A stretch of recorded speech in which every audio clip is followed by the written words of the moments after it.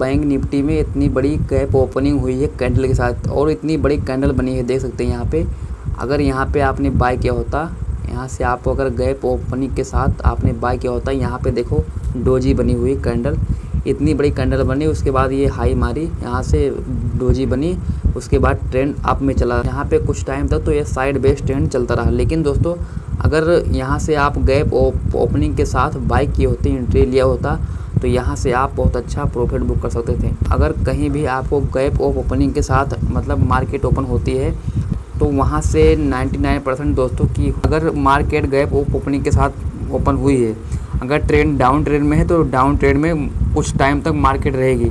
अगर आप ट्रेंड में ओपन हुई है, गैप गैप ऑफ़ ओपनिंग के साथ तो 100 परसेंट दोस्तों की कुछ टाइम तक मार्केट आप ट्रेंड में रहेगी।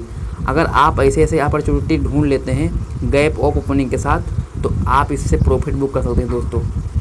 तो दोस्तों, अगर वीडियो अच्छी लगी तो लाइक करना और कमेंट करना। एक चीज़ दोस्तों, आपको और मैं दिखा दूँ, यहाँ पे देखिए, यहाँ पे एक सपोर्ट है। यहाँ पे ये रेजिस्टेंस है और ये सपोर्ट ये मार्केट कहाँ तक जा सकती थी? ये मार्केट तो यहाँ तक जा सकती थी देखो, यहाँ पे यहाँ तक। ये मार्केट यहाँ तक ज़रूर जा सकती थी।